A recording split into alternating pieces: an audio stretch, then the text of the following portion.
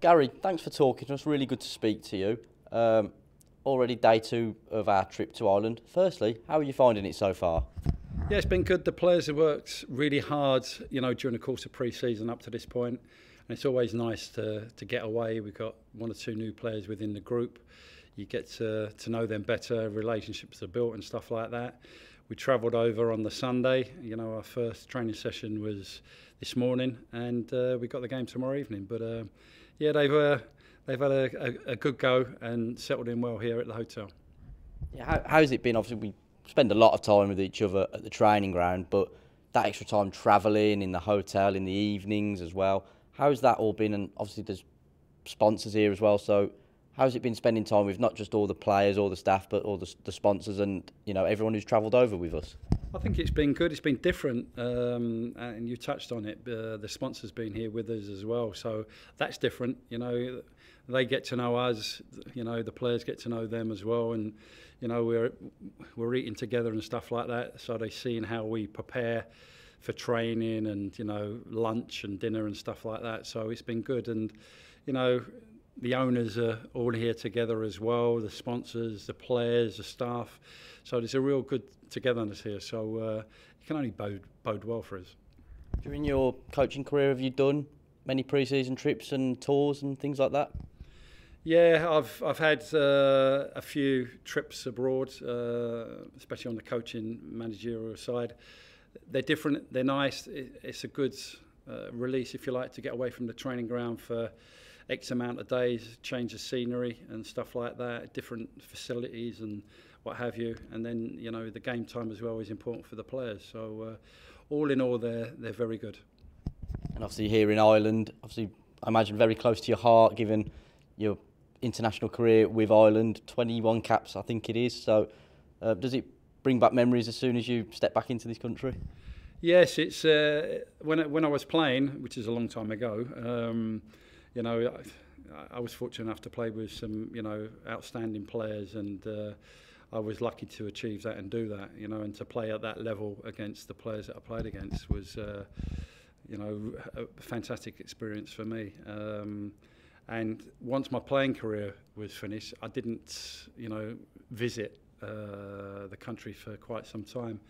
And I came over with my daughter uh, a year or so ago uh, for a visit, which was great. And then uh, it brings back a lot of memories. And then again, when we've touched down here yesterday, you know, again, it brings back memories. So, uh, real good times, pleasant memories. And uh, yeah, uh, we've got a few uh, days here now, uh, which I'm going to enjoy. What are your standout memories from your international career with Republic of Ireland? Well, I've touched on it that I played with some outstanding players, uh, played against some outstanding players also.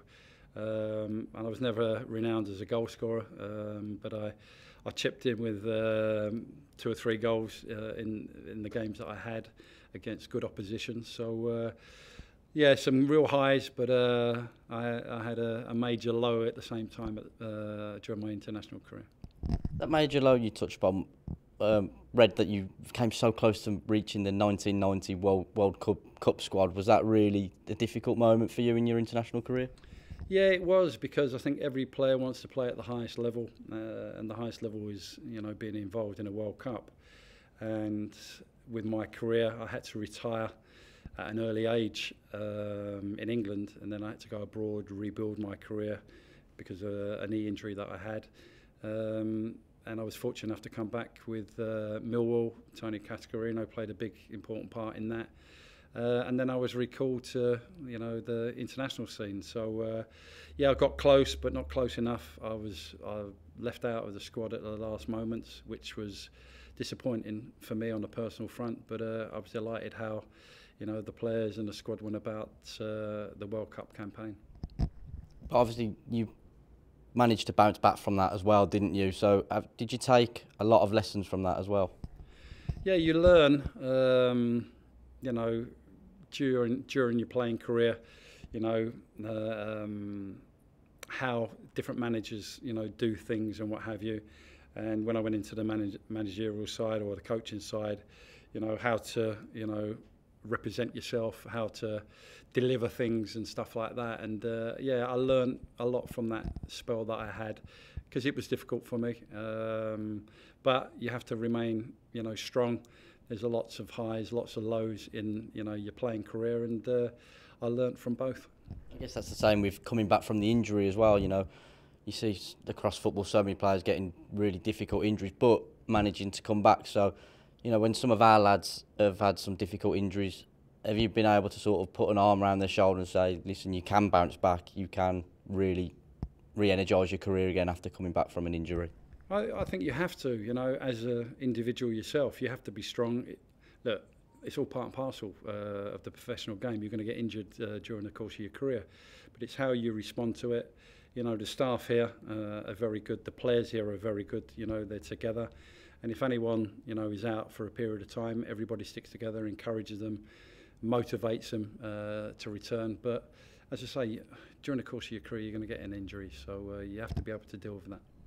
Talk about that togetherness. It's been evident from the minute they met up at the airport, I think, the lads, and then at the training session earlier today. Looks like everyone's really excited for the game tomorrow. Are you looking forward to it as well? It should be a great occasion against Drogheda. No, it will be. Uh, obviously, with the link and the connection between the two sides, uh, it will be good. Um, but again, it's a pre-season friendly. Um, they're in their season, so their fitness levels will be high. Ours we're building, um, but we just need to maintain what we're doing. Uh, it's, it's a fitness exercise at the end of the day. Uh, three points are not at stake. You know, we're working towards the Morecambe game, uh, but I'm looking forward to it.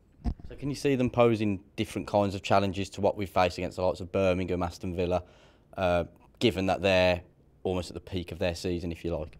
Yeah, the, the games program that we've had has been, you know, mixed. You know, we've played some really good opposition at um, higher levels. We've played uh, clubs at, a, at a lower at lower levels, which their game is, and style is different.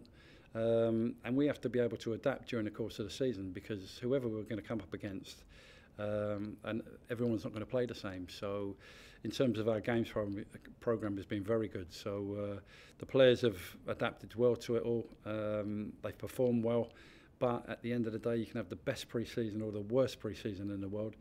It only counts on the first uh, first game of the season we often hear from Mat Sadler when we spoke to him after all the pre-season games. So we've heard a lot about pre-season from his perspective. So what's it been like from your perspective in your role as assistant head coach?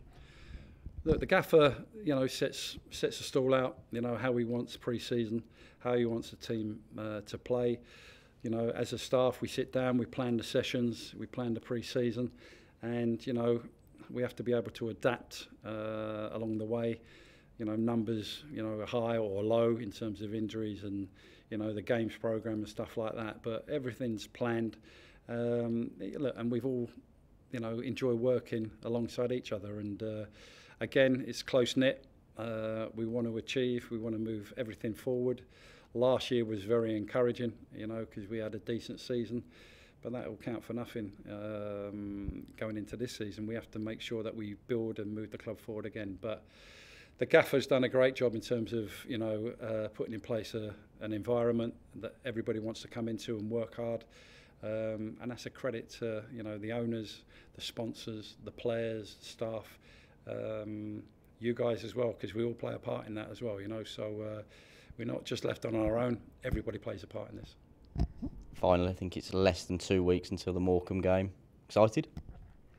Yeah, normally pre-season drags. Uh, you have a spell where it drags along, but this one has gone really, really quickly. Um, and once we get, you know, uh, the Drogheda game out of the way, we, you know, we fly back uh, home.